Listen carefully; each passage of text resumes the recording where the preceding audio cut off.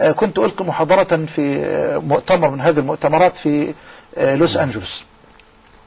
ودخل علي رجل أمريكي يريد أن يسلم مع أخوين سوريين مسلمين. فقاطعني أحد الإخوة السوريين وقال لو تكرمت الأخ ده عاوزينه يعني يردد خلفك الشهادة.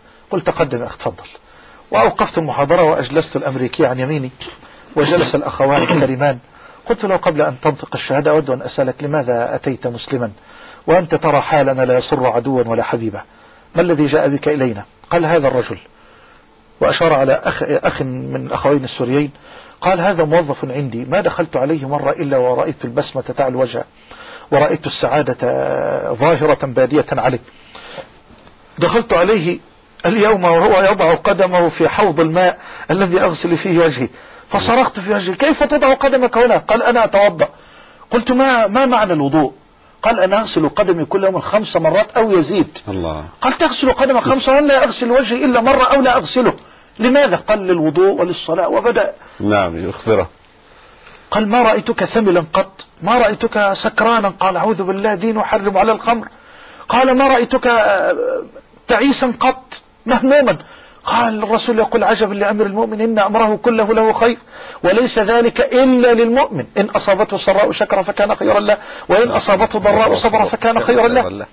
قال فهل لو دخلت دينك هذا أشعر بالسعادة التي تشعر بها؟ قال نعم. إن صدق قال أنا صادق. أنا أريد أن أحيا سعيدا.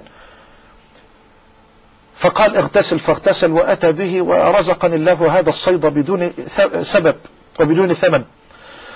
يقول بأنه قد انتشر من محاولة انتحار أكثر من 16 مرة. لكن الله قدر لهذا الرجل أن يموت على التوحيد. هذا الرجل يا شيخ فهد أصر أن أذهب معه لتناول غداء فدخلت قصرا على الشاطئ من الزجاج. المحيط. تنزل كأنك في المحيط. والجدران زجاج. زجاج. جلسنا يسيرا فوجدت السيارة قد كسيت بثوب أبيض من الثلج.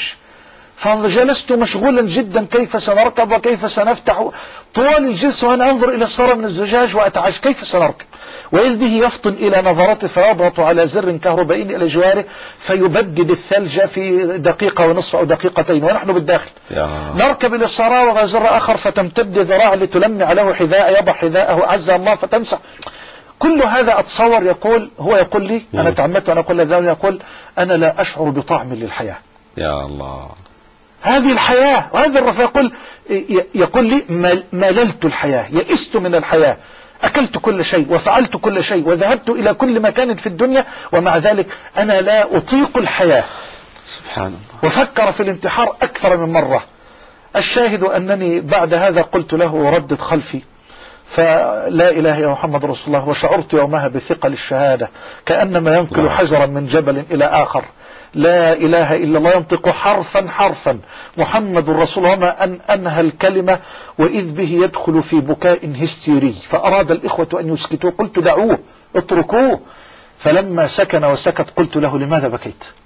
فرد علي في ترجمة شبه حرفية قال ما السر في هذه الكلمة؟ أشعر الآن بسعادة في صدري وحلاوة ما ذقت طعمها قبل هذه الكلمة. ما الذي وضعتموه فيها؟ قلت هذه كلمة التوحيد وهذه نعمة شرح الصدر بالإسلام لا يذوقها إلا من نطقها صادقا لله سبحانه وتعالى.